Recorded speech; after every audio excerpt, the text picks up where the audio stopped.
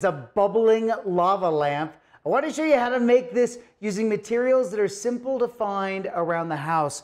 Believe it or not, it's just oil, water, little food coloring, and our secret ingredient, carbon dioxide.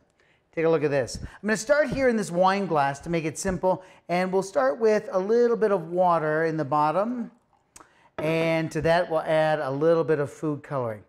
Now, you know that oil and water don't mix.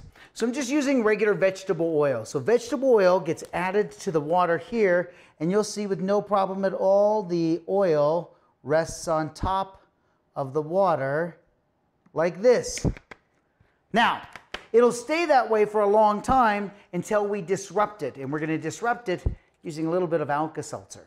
Alka-Seltzer is great because when it hits the water, it's going to start to dissolve. It makes bubbles of carbon dioxide. And those bubbles of carbon dioxide are going to pick up the water and carry it up. So watch, as I drop it down inside like this, now it starts to bubble here like this, and watch, it picks up the little pieces of water, sends it to the top, and then over the top, those uh, little bubbles will burst, and it works its way back down again. You get this amazing lava lamp. Hit it with light from underneath, have different colored glasses or different uh, glasses with different colored liquids inside. You're gonna get this entire mixture of uh, these bubbling concoctions Tell me that somebody doesn't think that that's a neat kitchen chemistry experiment. It's so simple to do. Oil and water don't mix, and because they don't mix, you get this beautiful piece of science art. That's your Science Minute. I'm Steve Spangler.